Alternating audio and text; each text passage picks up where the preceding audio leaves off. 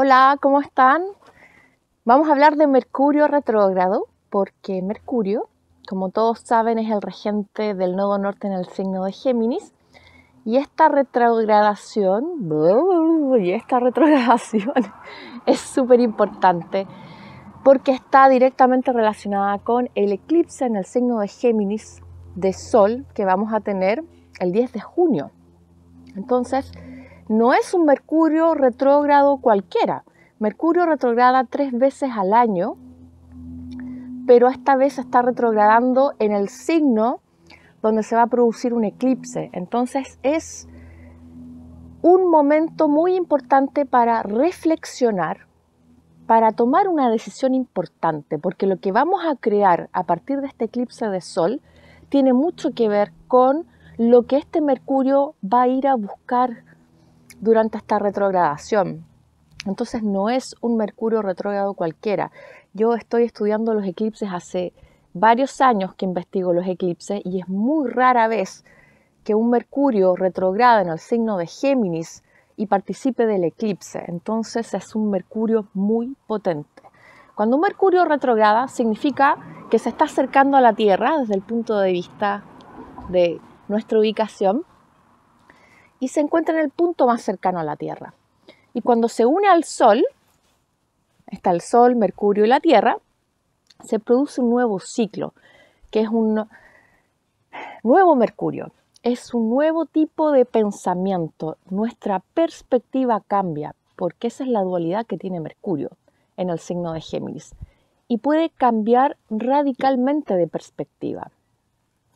Y como estamos en un signo donde además vamos a tener el eclipse, hay una situación en nuestras vidas que puede dar un giro inesperado, que puede dar una nueva página que podamos escribir, porque después de todo estamos en el signo de Géminis, con el nodo norte de la evolución. Entonces Mercurio retrógrado va a retrogradar este 29 de mayo hasta el 22 de junio y va a estar revisando temas, situaciones que se han presentado, conflictos, eh, confusiones, experiencias que vienen desde el 14 de mayo. Pero no solamente desde el 14 de mayo del 2021, también va a estar revisando temas del 2020, porque en el 2020 tuvimos una Venus Star Point en Géminis, en tu zona Géminis, y recuerda qué pasó con esa Venus Star Point en esa zona, porque tiene que ver mucho con relaciones, si sigo un vínculo, un compromiso con una amistad, con una persona, con un empleador, eh, tiene que ver con proyectos Géminis, tiene que ver mucho con proyectos, con temas de estudios. Entonces, Venus ya hizo un trabajo previo el año pasado y este año se une con Mercurio justo el día que Mercurio entra en fase retrógrada. Entonces también para muchas personas se trata de reevaluar sus relaciones de pareja, para reevaluar el paradigma de sus vínculos en general, cómo se están relacionando en la vida, desde qué lugar se están relacionando. Venus y Mercurio se unen casi todos los años y hacen una conjunción, pero rara vez se unen dos años seguidos en el mismo signo. El año pasado, Venus también se unió a Mercurio en el signo de Géminis y este año también lo vuelve a hacer en el momento en que Mercurio dice, a ver, voy a echarme para atrás para reflexionar esta situación. Y Mercurio en la mitología tuvo un hijo con Venus Afrodita, que se llamó Hermafrodita de Hermes y de Afrodita. Y Hermafrodita era un ser tan bello, había heredado toda la belleza de esa Venus, se fue a bañar a un estanque y una ninfa cayó perdidamente enamorada de Hermafrodito. Se lanzó al agua, lo abrazó y mientras se hundían en el agua, la ninfa le rogó a los dioses para que los unieran, los fusionaran en uno solo. Y Hermafrodita cuando sale del agua, fusionado con esta ninfa, tiene los dos sexos, es hombre y mujer. De ahí viene el hermafroditismo. Entonces, existen esos personajes mitológicos. Son reales. Existen personas que realmente son hermafroditas. Entonces los mitos son más reales de los que uno pudiera imaginar. Y habla de esta dualidad, porque Hermafrodito lanzó una maldición. Le pidió a Mercurio y le pidió a Venus que por favor todos los que se bañaran en ese estanque se fusionaran con la dualidad, fueran de un solo sexo para que tuvieran los dos sexos. Y de ahí viene esa dualidad también de las personas que tienen una Venus en el signo de Géminis. Entonces, Hermafrodito representa una dualidad, una contradicción, al igual que los hermanos Pollux y Castor, que son los gemelos que representan el signo y la constelación de Géminis. Pollux y Castor eran hermanos, uno era mortal y el otro era inmortal, y ahí tenemos la dualidad. Y después de que Castor murió en un ataque, Pollux decide acompañarlo seis meses en la sombra, en el infierno, en el mundo de Plutón, y seis meses después tienen permiso o derecho a vivir seis meses en el Olimpo en la luz. Entonces también habla de la luz y la oscuridad de la dualidad. Pollux y Castor representa una contradicción interna, una dualidad, una confusión, una oposición. Y la invitación de este Mercurio retrógrado en el signo de la dualidad y de la contradicción es que podamos integrar esa dualidad, es que podamos hacer un híbrido como el dios hermafrodita, que finalmente termina integrando esa dualidad entre el sexo femenino y el sexo masculino. Esa es un poco la simbólica de este Mercurio que retrograda junto con Venus, porque crean a ese hermafrodita con esta conjunción ahí en Géminis. El 10 de junio, que va a ser el día del eclipse, en ese momento el Sol y la Luna se van a unir en el grado 20 de Géminis. Y en ese momento Mercurio va a estar retrogradando y va a estar participando en el eclipse. Va a estar la Tierra, Mercurio, la Luna y el Sol. O al revés, me enredé entera. Mercurio con cuadratura Neptuno. El Sol, Mercurio, la Luna y la Tierra. Entonces, este nuevo ciclo de un Mercurio que se une con el Sol, que significa la iluminación, es un estado de iluminación. Cada vez que Mercurio se une con el Sol, se produce el estado de iluminación. Y ahí se vuelve a repetir un mito, que es el mito de Prometeo y Epimeteo. Prometeo y Epimeteo eran hermanos. Prometeo era más reflexivo, más inteligente, porque reflexionaba mucho antes, porque era muy previsor. Entonces, para ser previsor, reflexionaba, si hago esto, va a pasar esto, esto, esto. Si hago lo otro, va a pasar esto, esto y lo otro. Entonces era el previsor. Y Prometeo es el que le roba el fuego a los dioses, que simboliza el conocimiento sagrado, y se lo entrega a los humanos. Entonces cada vez que Mercurio se une con el Sol mientras está retrogradando, se produce ese robo de un conocimiento, de una información que no teníamos antes. Y Zeus lo castiga por ese delito, por ese robo.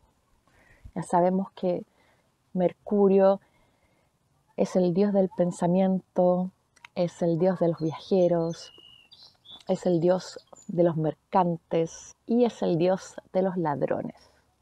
Por eso es que, además, en periodo de un Mercurio retrógrado, suelen producirse más robos, se nos suelen perder las cosas, desaparecen como por arte de magia, nos perdemos en las carreteras, los GPS a veces no funcionan y te envían a otro lugar para que puedas recorrer otros caminos. Como estamos más distraídos, se producen más accidentes de todo tipo en el vehículo, en la bicicleta, cuando estamos caminando, etc. Porque estamos mucho más distraídos con un Mercurio retrogradando. Y además se producen todas estas caídas de las comunicaciones, que el celular se apaga, no responde, se te cae el internet, se te echó a perder la televisión, tienes que cambiarlo, se te echó a perder el vehículo, los viajes se atrasan, los planes no salen como uno los había planificado. Entonces todo ese tipo de eventos suceden efectivamente con un Mercurio retrógrado, pero es la parte más anecdótica, es la parte más anecdótica. Y eso es cuando Mercurio está en el punto más cercano a la Tierra, porque cuando retrograda significa que está en el punto más cercano a la Tierra, porque ese Dios nos trae un mensaje, nos trae ese fuego del Olimpo que le roba a los dioses. Pero eso es en el momento en que hace la conjunción con el Sol. Ahí, a partir de ahí, viene esa recepción de parte de nosotros, hombres y mujeres de la tierra, que recibimos el fuego de la parte de Prometeo. Epimeteo, en cambio, que era el otro hermano gemelo de Prometeo, es el que actúa sin pensar, sin prever. Y esas son las diferentes dimensiones de nuestro Mercurio, de cómo pensamos en la vida. Entonces, cada vez que tenemos un Mercurio retrogradando, vamos a cambiar de Epimeteo a Prometeo.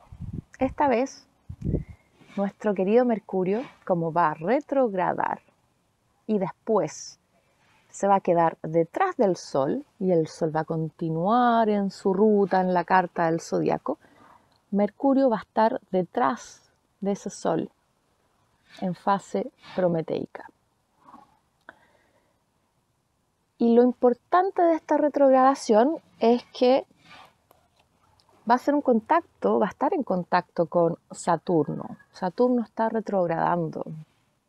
Y Saturno tiene un aspecto muy importante con Mercurio, porque ambos, cuando hagan ese contacto, van a estar retrógrados. Saturno le dice a Mercurio, no es tiempo de decidir, no es tiempo de planificar para esta decisión, esta nueva página que vamos a escribir y este nuevo comienzo que vamos a realizar a partir del eclipse que vamos a tener en junio. ¿Qué te parece, Mercurio, si nos inspiramos para crear y dejamos que Neptuno y que Júpiter en el signo de Pisces nos revelen información, nos revelen ideas, nos revelen sueños, para que los podamos canalizar, para que los podamos plasmar en este proyecto que vamos a crear con este eclipse de Sol en Géminis. Mercurio va a entrar directo el 22 de junio. Y a partir de ahí, Mercurio va a tener las cosas mucho más claras. En la vida hay momentos para decidir, hay momentos para pensar, así como hay momentos para sembrar y hay ciclos para cosechar. Y este no es un momento para tomar decisiones, para planificar, es un momento para reflexionar. Mercurio cuando está retrogradando tiene un gran poder que es el poder de la reminiscencia. Y la reminiscencia es recordar y viajar en el pasado para aprender. Porque del pasado se aprende para comprender el futuro.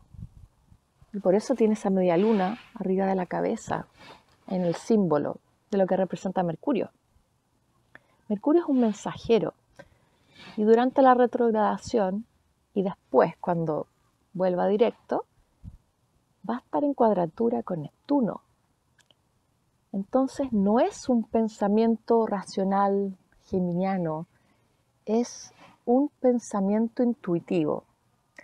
Vamos a reflexionar conectados con una fuente divina, conectados con el pensamiento mágico, conectados con símbolos.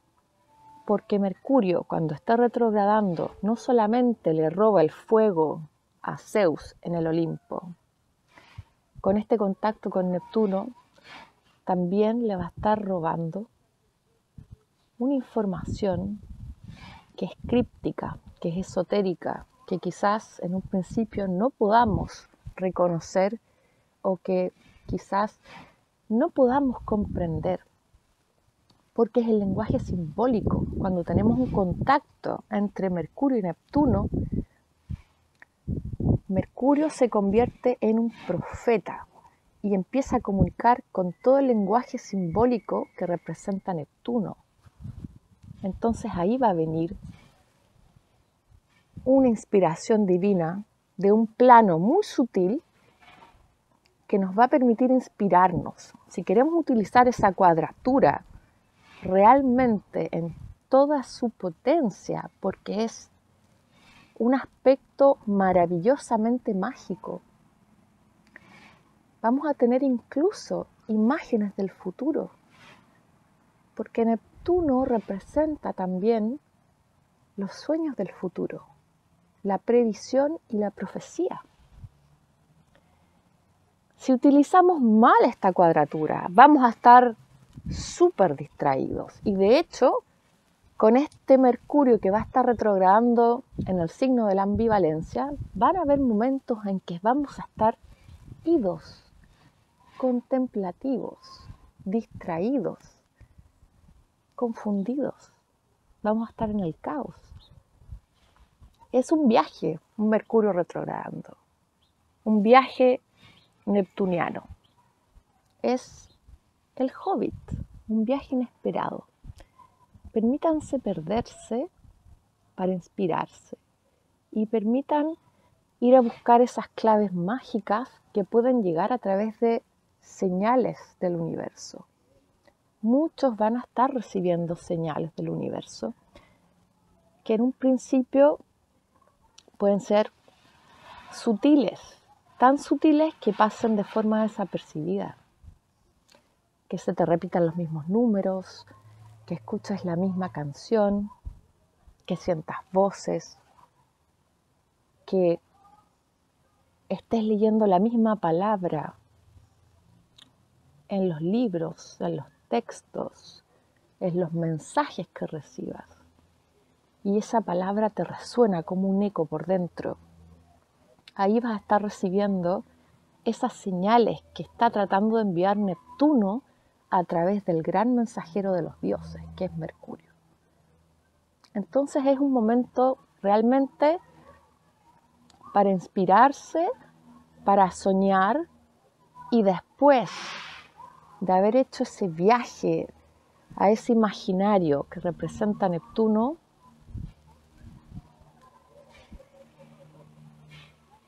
inspirarse y plasmar toda aquella experiencia extrasensorial que habremos vivido a través de sueños, a través de ilusiones, para crear algo potente, algo potente con este eclipse.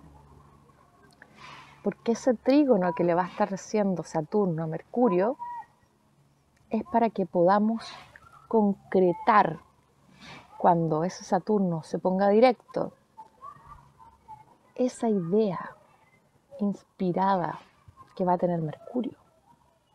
Entonces es un contacto poderosísimo el de Saturno a Mercurio, porque este eclipse habla mucho de poder plasmar en la realidad aquello que es muy imaginario con ese viaje de Mercurio en contacto con Neptuno.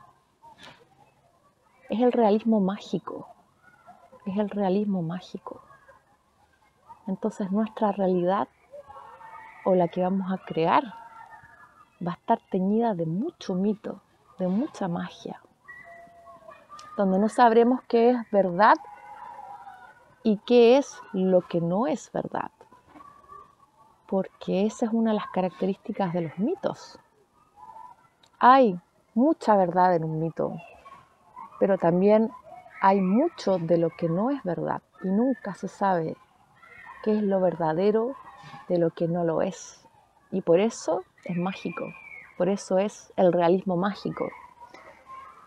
Y Mercurio en el signo de Géminis, junto con este eclipse, va a estar creando una nueva mitología, una nueva mitología en nuestras vidas personales y a nivel colectivo se viene algo grande, muy grande, pero lo vamos a hablar en el eclipse de Géminis que vamos a tener el 10 de junio, porque hay muchas cosas que les quiero decir respecto a ese eclipse, pero quiero que se concentren en este periodo de un Mercurio retrogradando, porque es este pequeño hobbit que nos va a acompañar en este viaje inesperado lleno de magia, lleno de elfos, lleno de aventuras y permitirnos ir a esos lugares sin expectativas, simplemente para ver que existen otras posibilidades y otras alternativas en nuestras vidas.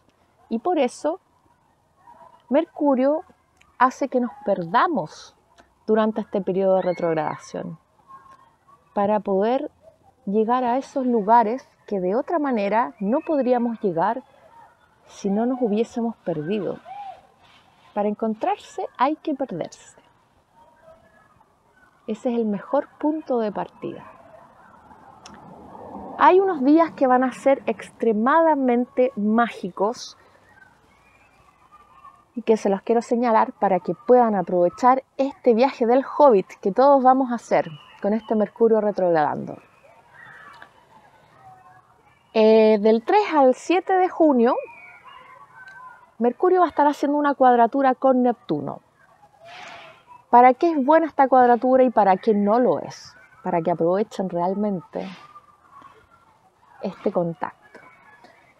Como vamos a estar tan distraídos, inspirados, motivados, poéticos con la vida, filosofando de manera muy romántica con ese Mercurio y ese Neptuno,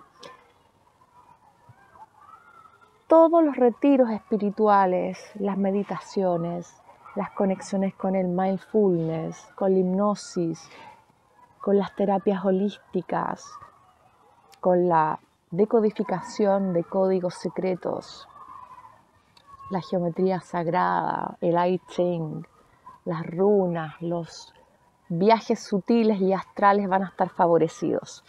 Y la otra fecha va a ser del 5 de julio al 7 de julio, que también es la otra fecha donde este Mercurio va a estar haciendo la cuadratura con Neptuno y muchos van a estar recibiendo símbolos. Ojo, porque Mercurio con Neptuno comunica a través de símbolos. Entonces busquen el significado de esos símbolos. Como durante esa fecha la mente va a estar en otra dimensión, esos días tengan cuidado al manejar, al caminar, porque vamos a estar muy distraídos. Nuestra mente va a estar en la estratosfera más allá. No, es, no son días tampoco para tomar decisiones porque vamos a estar con la conciencia alterada. No son días para afirmar porque quizás no vamos a leer y no vamos a entender o se nos va a pasar por alto una cláusula. Entonces, como les digo, hay días que se aprovechan para ciertas cosas y otros días para no hacerlas. Y es un momento para relajarse, para escribir, hacer escritura automática, para escuchar música y volar con la imaginación. Y caminar sobre un arco iris, caminar sobre un arco iris de colores que reverbera en tu interior para buscar esa piedra filosofal de este nuevo sentido que queremos encontrarle a la vida, porque ese es el eje Géminis Sagitario. Descubrir un nuevo sentido de vida, explorar un nuevo sentido de vida. partir a la aventura. Entonces recuerden el 3 al 7 de junio y del 5 al 7 de julio, días mágicos. Días mágicos en los que quizás muchos van a estar recibiendo algún tipo de señal por dónde tienen que ir, dónde tienen que dejarse guiar con el corazón y con la mente intuitiva, con ese Mercurio y ese Neptuno, para que aprovechen este viaje al mundo fascinante de Tolkien. Nos vemos en un próximo video. Un beso. Bye bye.